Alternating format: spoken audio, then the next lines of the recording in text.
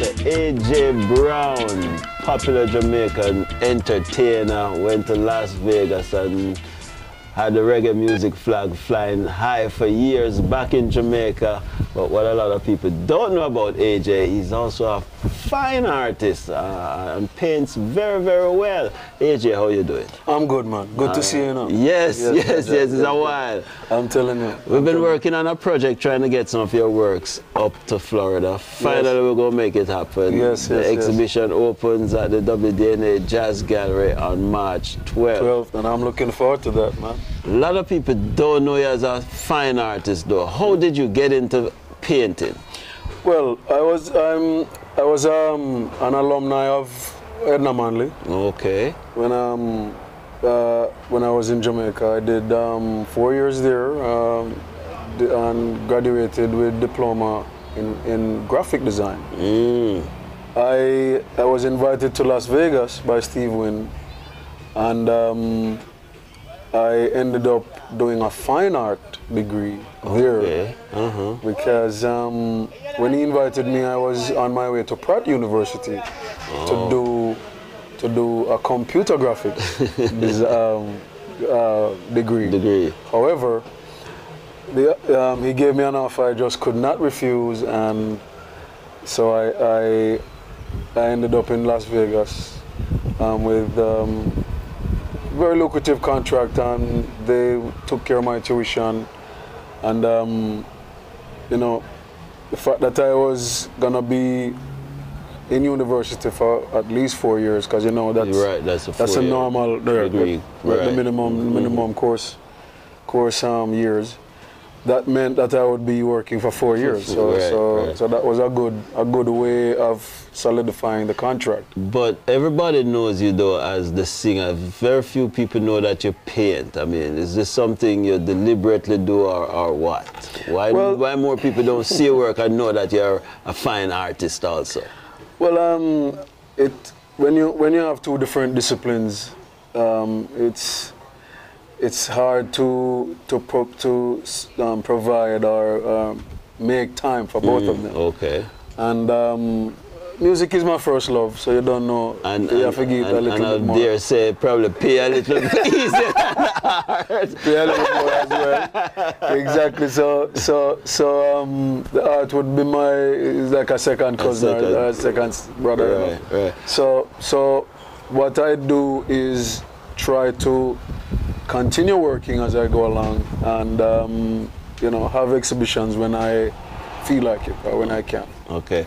We have you performing at the Broward Center on May 22nd, Reggae Jazz Fusion. Reggae jazz fusion. Fusion of jazz and reggae. We have Mr. Monty Alexander, Maxi Priest, yourself.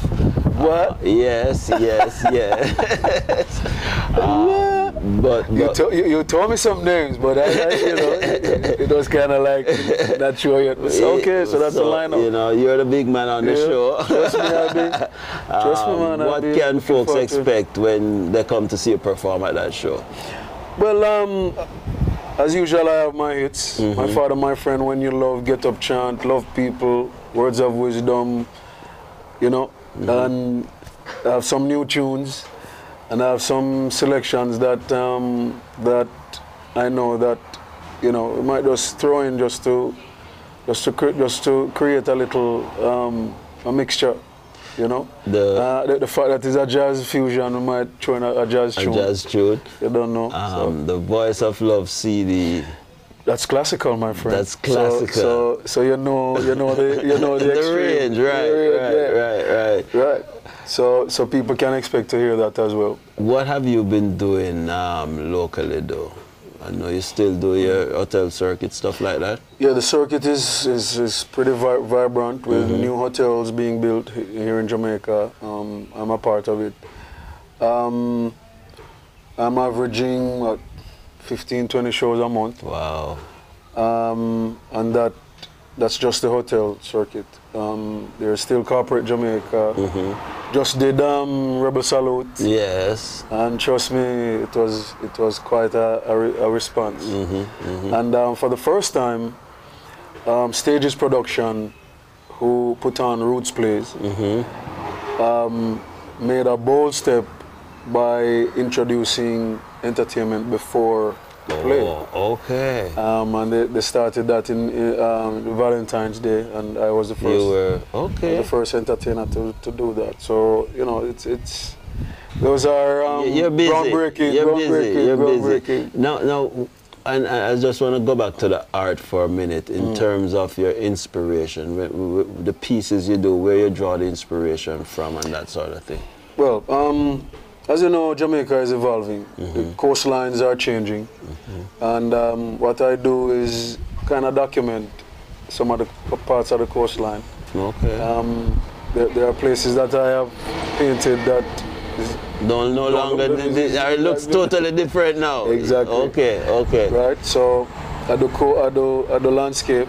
Um, I do self-portrait.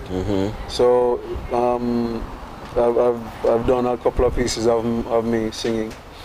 I've done portraits of my family. Um, I've done abstract pieces. I, I did a nice big piece of Bob Marley one time. I heard that piece That's is all- the that- bomb. That was sold for 100,000. wow. Um, and um, I just do.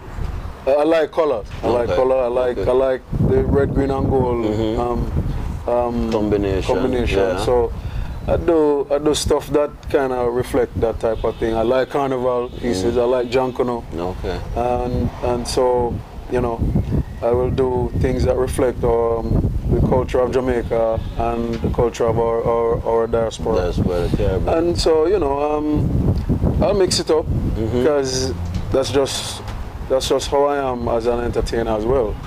I, I, I don't I don't limit myself with with the genres that I sing. So same thing Same with, thing with, with, with painting. painting.